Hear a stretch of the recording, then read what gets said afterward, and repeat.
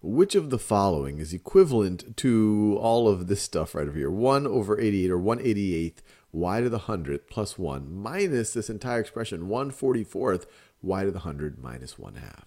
So let me just rewrite it. So this part right over here, this is going to be 1 over 88 y, let me make sure it looks clear, y to the 100th power plus 1.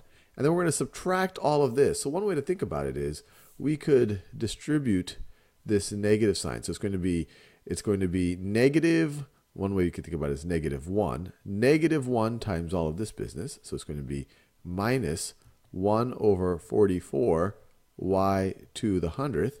And then negative, remember, we're going to distribute it. So negative 1 times negative 1 half is going to be plus, plus 1 half. Now let's see what we can do to further simplify it. So this is 1 88th y to the 100. This is minus, or you could say negative 144th y to the 100th. And so we can add these two terms together.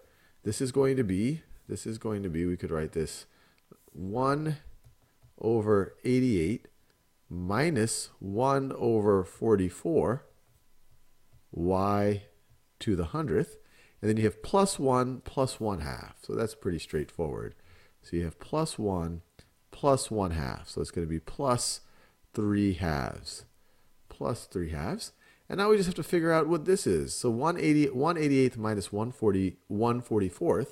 Well, the common denominator here could be 88. That is the least common multiple of 44 and 88. 88 is divisible by 44. So if we multiply the denominator by 2, you get 88. You multiply the numerator by 2, you get 2. 2 88ths is the same thing as 1 44th. So this is 1 88th minus 2 88ths.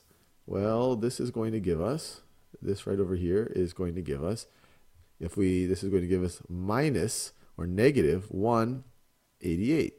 1 88th minus 2 88ths is going to be negative 1 88th.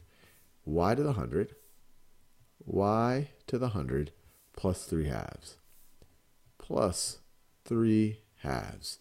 And that is negative 1 88th y to the 100th y to the 100th plus 3 halves. This choice right over here.